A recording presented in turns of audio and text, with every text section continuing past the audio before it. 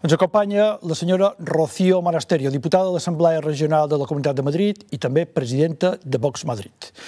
Buenas noches, señora Monasterio, bienvenida. Buenas noches, muchas gracias por Muy agradecido de que haya aceptado nuestra invitación en este día tan movido que estás teniendo usted desde primera de la mañana, luego reunión con sectores empresariales, luego los militares, los, los compañeros de su partido y ha podido hacer un pequeño hueco para venir a estar con nosotros. Agradecida y estoy yo de estar aquí ¿eh? y poder estar escuchando y, bueno, y compartiendo tantas experiencias hoy.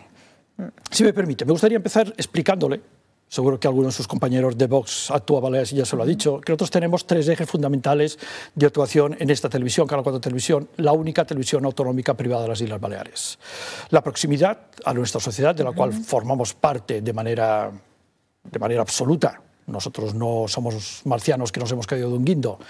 Luego tenemos la pluralidad. Aquí invitamos a todo el mundo. Luego vienen o no vienen. Pero todo el mundo siempre tiene las puertas de Canal 4 abiertas. Luego el compromiso con la sociedad. Y muy especialmente compromiso con la sociedad civil. Nosotros somos sociedad civil y creemos que por encima de todo la sociedad civil debe ser la que se exprese y luego la sociedad política y actuar según los votos que tenga, según sus programas electorales, pero por encima de todo la sociedad civil. Y vemos que últimamente por muchas razones, puede ser por la razón ideológica del gobierno que nos gobierna, tanto aquí en las Islas Baleares como en el gobierno de España, la sociedad civil cada vez está más arrinconada, incluso estamos viendo algunas iniciativas, incluso una iniciativa de una presunta mm, asociación empresarial con pymes, que nacen bajo lo que es el paraguas del poder político, el poder político que quiere suplantar a la sociedad civil. ¿Cómo ve usted esta realidad que estamos padeciendo? Quizás incluso complicada aún más por la pandemia. Bueno, yo lo que creo es que el Estado o los gobiernos o los políticos están copando todos los ámbitos de la sociedad ¿no? y lo que están haciendo al final es restar libertad al ciudadano restar libertad a los españoles. Vemos asociaciones patronales que dependen de las subvenciones públicas, con lo cual no tienen libertad. Televisiones públicas que no son neutrales, televisiones públicas que gastan los recursos de todos los españoles y no respetan la diversidad y la neutralidad que tienen que respetar y esto lo hemos visto durante estos meses, ¿no?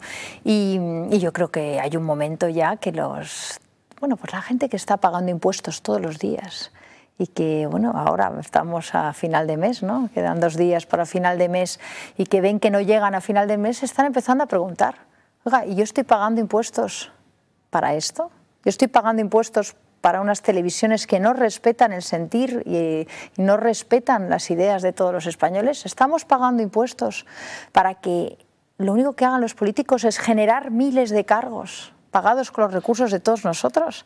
¿Estamos de verdad dispuestos a seguir bajo la batuta de estos políticos que además no nos dejan trabajar? que lo, hemos visto y aquí en Mallorca se ha visto, ¿no? unas normativas absurdas, arbitrarias, que están impidiendo que la gente se gane el pan y que lleve un sueldo a casa. ¿De verdad? ¿Estamos dispuestos a seguir aguantando esto? Yo creo que la gente pues está empezando a dar cuenta que esto no puede ser, ¿no? Y que es eh, un Estado y un gobierno y unos políticos, eh, como en el caso de la señora Armengol, que lo que están haciendo es la persecución del que no piensa como ellos y, y el ahogo de los que quieren prosperar. En este ámbito que usted ahora acaba de, de ayudarme a hacerle la entrevista, porque me ha ayudado mucho en esa expresión que ha hecho de el gasto suntuario, televisiones autonómicas que tienen la audiencia que tienen y que están ahogando realmente las todos los medios de comunicación privados, que no llegan porque tienen menos poder económico, porque tienen menos capacidad y donde llegan unos, pues restan audiencia a otros miles de cargos, miles de coches oficiales, miles de administraciones duplicadas, esto aquí lo estamos viviendo continuamente, que tenemos em, Ministerio de Cultura de Madrid, Consellería de Cultura aquí, Consellería de Cultura en todos los consejos, regidurías de cultura en todos los ayuntamientos. Cuando digo cultura, digo bienestar social, digo economía, digo turismo. Estamos ahora teniendo todos los consejeros y todos los eh, ayuntamientos y todo el mundo tiene turismo, turismo, turismo y se solapan unos a otros. Pero claro, usted no lo está diciendo desde la política. Y ustedes algún día, por eso se presentan ustedes a las elecciones, deben pretender gobernar. Claro, claro, llegan ustedes a gobernar y qué. Pero muchos hemos entrado en la política después de trabajar 20 años y ver esa realidad. Y de estar 20 años, un 28 de fin de mes, pensando cómo hay que pagar nóminas el 30 ¿eh? y liquidando impuestos y viendo cómo te, te, imponen normativas contradictorias y cómo es tan difícil pues, aumentar la plantilla de una empresa, contratar a gente por más que quieras, la persecución que hay. ¿Y por qué hemos visto todo eso? Hemos entrado en política. Porque hemos visto la necesidad de, comprometerse para cambiar todo eso, pero comprometerlo desde un punto de vista del conocimiento de, lo que es ahora mismo, pues sacar o crear un puesto de trabajo o generar empleo, generar empleo, generar riqueza, generar, eh, bueno, pues al final prosperidad. ¿no? Entonces, mm, es verdad que a veces hablamos, y es verdad, a mí me pasa, a veces hablo con lejanía de los políticos, y, yo ahora estoy en política, porque sigo manteniendo eh, ese espíritu y sigo pensando desde el punto de vista del que está eh, sufriendo a los políticos, ¿no? Y a mí me sigue pasmando. Yo cuando voy por la Asamblea en la Comunidad de Madrid y veo pues 136 diputados cobrando todos los meses, que a los cuales les preguntas qué ley has votado y te dicen no lo sé porque me pusieron una tarjetita que votara al uno y no sé qué, qué he votado, pero ¿de qué era la ley? No lo sé. Eso de verdad, es lo, que, es lo que está pasando en los parlamentos autonómicos. Y lo estamos pagando, lo estamos pagando y cada uno que me esté escuchando y que ahora el día uno recibe la nómina, recibe su sueldo y ve que la mitad se va a pagar la sanidad, la educación, sí, pero también otras muchas cosas. También se va a pagar en nuevos cargos políticos. ¿eh? De el otro día aquí, por ejemplo, ¿qué, es esto del cargo este de de la soberanía alimentaria? ¿Pero de qué estamos hablando? comisionados de bienestar animal, comisionados de cambio climático, comisionados, nos están tomando el pelo. Lo que hacen es una gran industria de los partidos, los grandes partidos políticos, que se protegen entre ellos y que colocan a sus cargos políticos.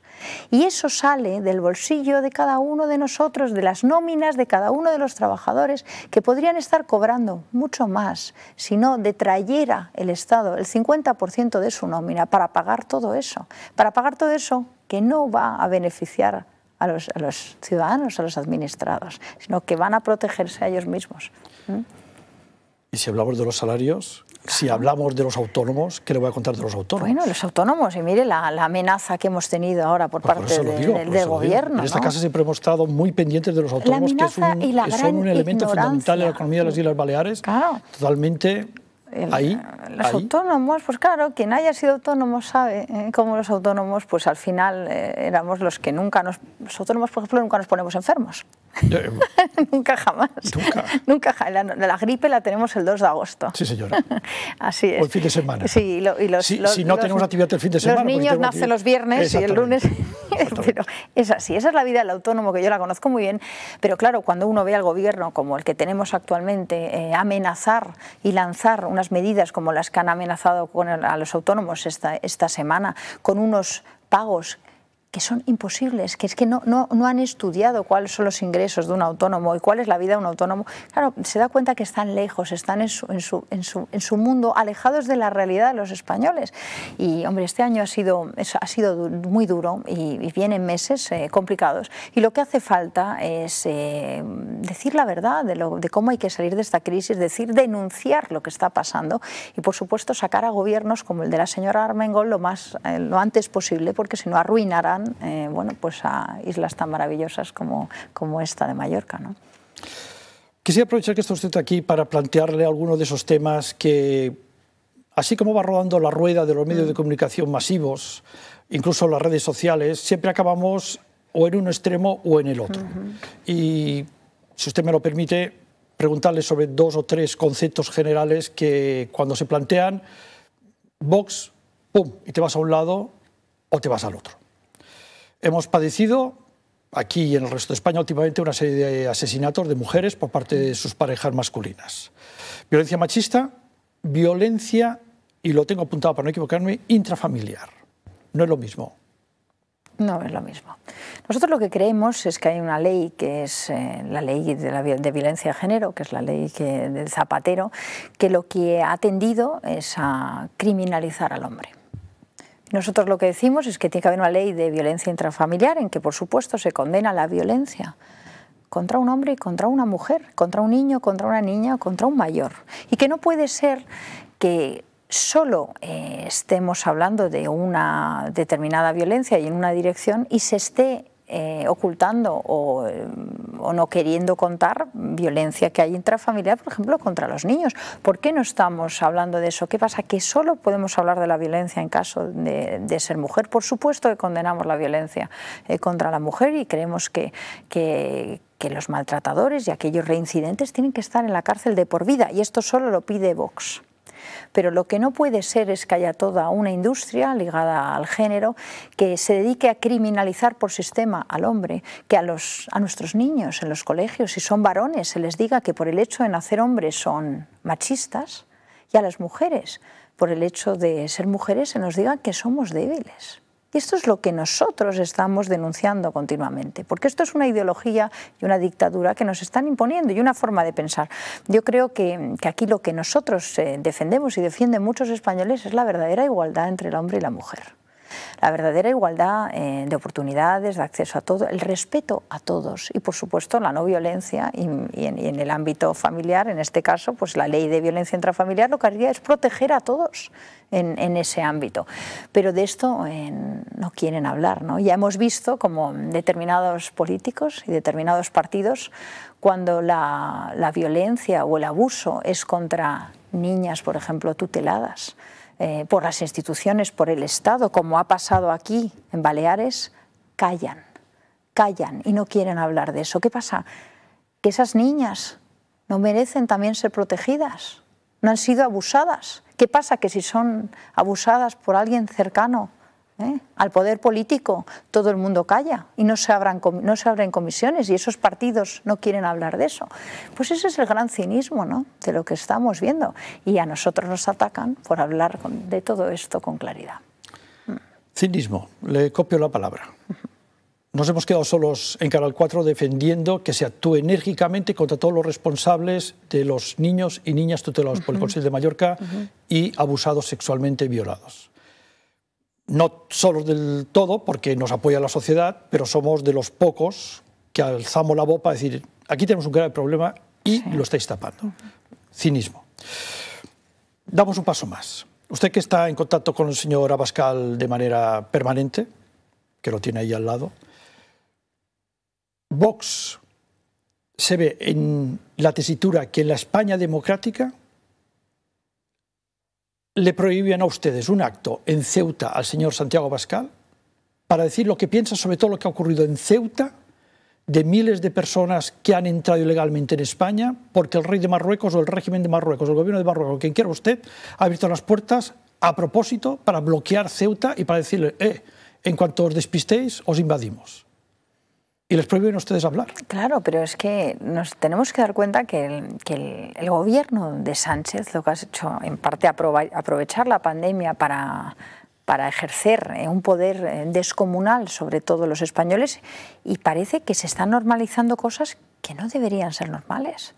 Eh, desde luego, debería ser un escándalo en toda España que un partido político, que además en Ceuta es la primera fuerza política, no pueda eh, ejercer su derecho a manifestación o su eh, derecho a hacer unas declaraciones en la calle.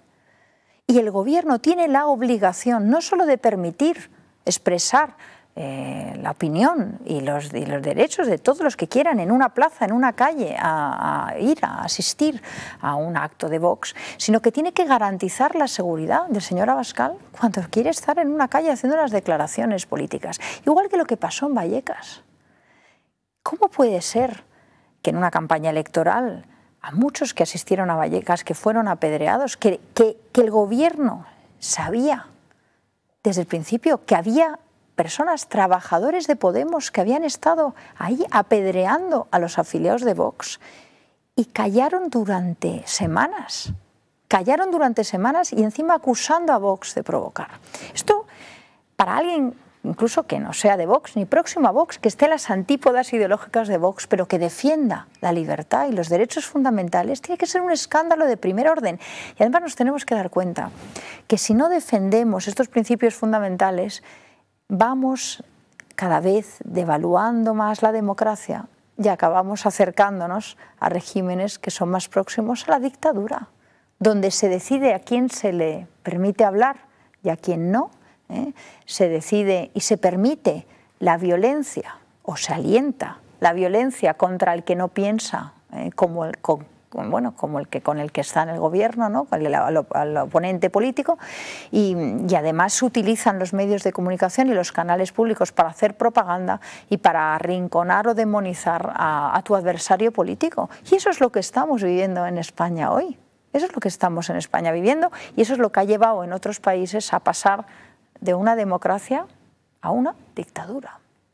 Por eso tenemos que tener tanto cuidado y no solo los de Vox, también los que están en la, oposición a Vox, si es que de verdad defienden la democracia y quieren poder seguir hablando todos en libertad. Ya que estamos en el ámbito más allá geográfico de las Islas Baleares, el indulto que va a llegar, porque mientras esté el gobierno que está, el indulto va a ir, el indulto a los presos catalanes por la sedición que ejecutaron en su momento determinado. Por mucho que diga el Tribunal Supremo, la decisión política está encarrilada. Su opinión, su valoración. Yo creo que este es parte de un relato, de un camino que está orquestado hace tiempo por parte del Partido Socialista. ¿no? El Partido Socialista y sus socios eh, independentistas. Mm, y yo creo que hay algunos que piensan, utilizan la palabra concordia eh, de forma, bueno, pues yo creo que devaluando su, eh, el sentido que tiene, para intentar contarnos a los españoles que en nombre de la concordia podemos pasar por encima del Estado de Derecho, podemos acabar con la ley de leyes, nuestra Constitución, podemos saltarnos todo. Saltarnos todo ¿no? Eh, mire, hace 2016, un día, bueno, en mayo de 2016, fue pues en un acto en que Puigdemont amenazaba a, todos los españoles con independizar, fue un día que yo le solté unas esposas y un código penal delante. ¿no? Y, era el 2016, han pasado años de eso, ¿no? Y nosotros durante todos estos años, y ya en el 2016, avisábamos de la deriva terrible que íbamos a ver en España, que por desgracia se ha cumplido. Y estuvimos ahí con las querellas y eso permitió sentar en el banquillo a los separatistas. Y, por desgracia dijimos, pero es que no va a ser suficiente porque tenemos un gobierno que ignora la ley, que se cree por encima de la ley y que no ha entendido que sin ley no hay democracia. Sin ley no hay democracia es lo que yo dije a Puigdemont ese día que le solté las esposas y el Código Penal. Y una vez más, la defensa de la ley es fundamental y no solo debería estar Vox en esto, deberían estar todos los partidos los que están más a la izquierda, los que están más a la derecha, los que defienden, eh, los que son próximos a lo que defendemos en Vox y los que están en las antípodas, porque una vez más, sin ley, eh, eh, pues pasamos a, un país, pues, pues, pues a una dictadura, ¿no? porque si no se defienden los, principios básicos del cumplimiento de la ley, de, la unidad de, de, España, de la Constitución, pues pues entonces España se deshace como un azucarillo ¿no? y acabamos en una confederación en que cada región es un Estado y, enfrentados entre los españoles. Esto es, de lo que estamos hablando. ¿Qué pasa si los indultos, qué mensaje estamos dando? Que cualquiera puede saltarse la ley, que cualquiera puede saltarse la Constitución. Entonces, ahora resulta que aquí el único partido que está defendiendo la Constitución, 100%, y que está llevando al banquillo a aquellos que la incumplen es Vox. Y se atreven a llamarnos ¿eh? enemigos de la Constitución. Se atreven a decir y a cuestionar nuestra defensa de la democracia. Los que están socavando y atacando los cimientos del Estado español, los cimientos de la nación española, ahora mismo es Sánchez y el Partido Socialista y sus socios independentistas, que están dispuestos a pasar por encima de todo con tal de mantenerse en el poder y lo que van a hacer es debilitar a España y mm, crear un precedente. El indulto es un precedente que nos lleva por un camino, eh, bueno, pues que lo único que va a traer es eh, el desastre, ¿no? Porque ya estamos viendo lo que pasa en Cataluña. ¿Qué ha traído el independentismo? ¿Qué ha traído? Que las empresas se vayan, eh, desempleo, locales cerrados, miseria, que las infraestructuras no se arreglen. Eso es lo que trae. Eso es lo que trae cuando tú estás solo mirándote a ti mismo y en una carrera ideológica utópica excluyente de los demás, lo que haces es empobrecerte empobrecerte. Y, yo creo que ya hay mucha gente que se está dando cuenta y por eso en Cataluña hoy Vox tiene 11 escaños. Y aquí, ¿eh? en Baleares, cuando haya elecciones, va a pasar algo parecido. Y la gente se va a dar cuenta de lo que traen las políticas de la señora Armengol y sus socios. Permítame, me comunican mm. desde realización que tenemos que ir acabando mm. porque usted tiene una agenda muy muy constreñida hoy, con muchos actos y muchas reuniones y tampoco no le quiero robar más tiempo, pero me, queda un, me quedan muchos temas por plantearle, pero le quisiera plantear uno ahora que usted nos está hablando de cumplimiento de la ley. Mm. La ocupación, los ocupas. Le expreso mi desconocimiento de cómo se está gestionando esto en Madrid, sé cómo se está gestionando aquí, hay ocupas y ocupas, hay personas que no se pueden ir de su casa porque no tienen otra casa y no pueden pagar un alquiler y habría que buscarles una solución a estos problemas sin menoscabo de los propios derechos que tienen los propietarios, es evidente, pero luego hay algunos que le pegan la patada a la puerta, que convierten los pisos ocupados en granjas de marihuana o que convierten los pisos ocupados en locales para realquilar a otros y que luego cuando tenemos que ejecutar la normativa todos son problemas, cuidado, no se puede hacer, mm, es que están ahí, es que en teoría viven, es que se ha convertido en un hogar. ¿Cuál sería la solución de Vox al problema que parecemos mucho las Islas Baleares de la ocupación?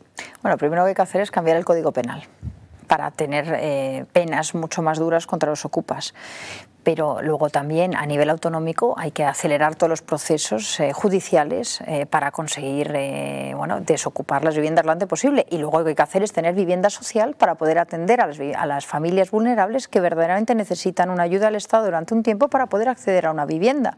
Pero es que todos estos que defienden, porque aquí hay partidos en España que protegen las mafias de la ocupación, luego cuando están en el poder no hacen ni una vivienda social han hecho vivienda social. Entonces nos hablan de la vulnerabilidad de muchas familias, pero no han puesto ni un solo euro en vivienda social. Entonces, hay que crear vivienda social, hay que ser muchísimo más contundentes y más duros con los ocupas. Los ocupas en 24 horas tienen que estar fuera, fuera, pero sin, sin ninguna contemplación.